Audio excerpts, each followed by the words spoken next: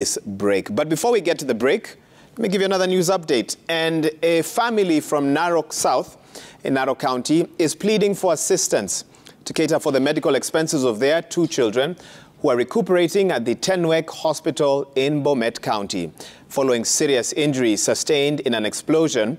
Uh, sustained in an explosion, rather. Now, according to the family, 12-year-old Thomas Kunguru and his 6-year-old brother Raphael Kunguru escaped death by a whisker on the 9th of December 2022 when they were playing with an abandoned explosive device which detonated and left them with serious injuries.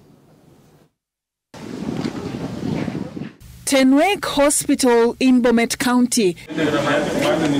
It has been the second home for 12-year-old Thomas Kunguru and his 6-year-old brother Raphael Kunguru since 9th December 2022 when they were wheeled in after they were caught up in what the family says is an explosion. Akakuwa siku ya Jumamosi tarehe tisa mwezi wa kumi na mbili, mimi ilikuwa Bwasongiro kutukuja kutafutia watoto chakula, alafu akasikia watoto hakuna nyumbani, milipiko na bomu. Watoto yangu hakuna macho, hakuna masehemu kwa mwili hata saa hii huyu mdogo wako mausi. They had serious injuries and they were taken care of by a multidisciplinary team. The fact that they were able to come back from some of these injuries is uh, a true miracle.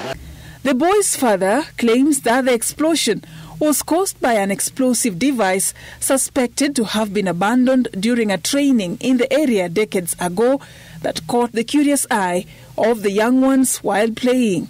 Wakati 1980 mpaka ikuje juu, nasikia watu walikuwa nafanya mazoezi huko, lakini mbaya yao saa hii akawacha hiyo mabomu kielela. Kwa hivyo unaumba arudie kwa mashini yao, hatue hiyo mabomu.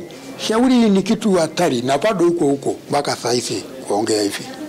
Kwa hivyo sasa wao watoto hamjui kitu. Sasa ina hata kukuta hiyo kitu anga hata kukonga bila kujua, halafu ikaanza kulipuka.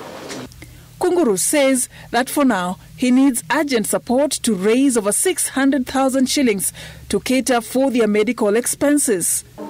Hamjui sasa ya kufanya kutoka tangu siku hiyo imekuja hapa mwezi moja sasa inaelekea, lakini hakuna mtu amekuja kuambia mimi, lakini nasikia kwa huruma tu ni maneno ya serikali, lakini sijafaidika mpaka sasa. The family's only hope is that Thomas and Raphael will be back on their feet soon. Safin Acheng Oma, Citizen TV. And uh, Kenya police